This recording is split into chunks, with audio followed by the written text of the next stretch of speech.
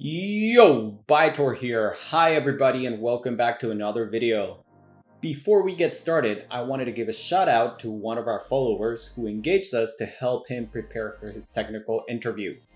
This person requested to remain anonymous and so we'll call this person Jeff. Let me tell you a little bit about Jeff. Jeff will be graduating in December and has decided to be proactive about looking for jobs. I would like to applaud that and encourage you guys to be proactive when looking for jobs.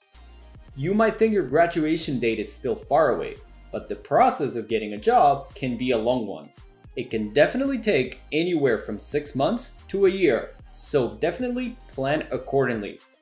Anyway, Jeff is graduating as a hardware engineer and was looking for jobs in this field. Jeff got many interesting questions that we will be sharing with you throughout different videos.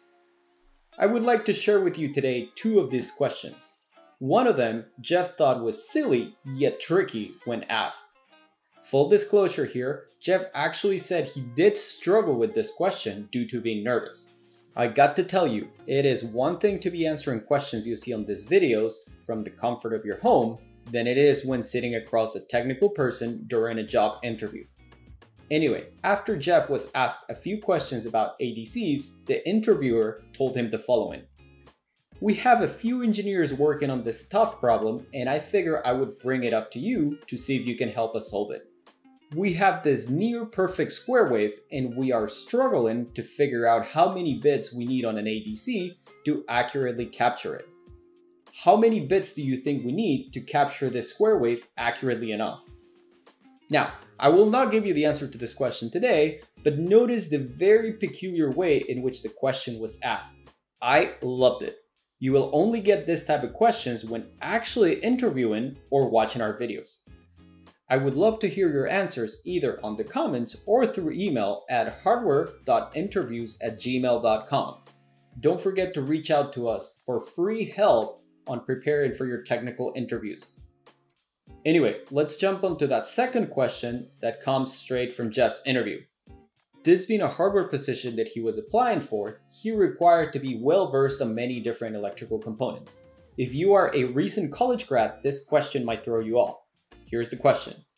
The interviewer will say something along these lines. Imagine I have a bench power supply that is only capable of giving me an output of 10 volts. Also imagine that I have a board that I need to debug but this board can only take 5 volts as an input. What can I do to solve my problem? Let me pause for 10 seconds here and give you some time to think about your answer.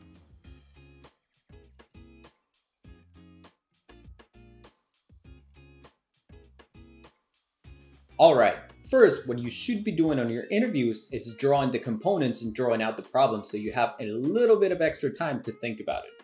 So we have our power supply, that's this box right here, that can output 10 volts. And over here, we have the PCB that we need to debug. This PCB, as we said, can only take 5 volts as an input. Unfortunately, many recent college grads, and you might be tempted to do this as well, will answer the question with a simple resistor divider, like so. I mean, in theory, it does work, right? You are dividing your 10 volt output by 2 and outputting 5 volts that your PCB can safely consume, right? Well, this is true, it is a very inefficient way of doing it. The reason why recent college grads decide to opt for the resistor divider, it's because that's what they're used to do when trying to step down voltages. However, as a professional hardware engineer, you will need to quickly adapt and think of what other tools are at your disposal. In this situation, the far better option and the correct answer is to use a step-down regulator module. That's exactly what the interviewer was after, and that's the answer for today's question. However, the interviewer can easily follow up by asking you whether you would want to use a step-down buck converter or a linear regulator which was exactly what happened to Jeff. Which one do you think it should be? Anyway, that's all I have for you today, guys. Thanks for tuning in. See you next time.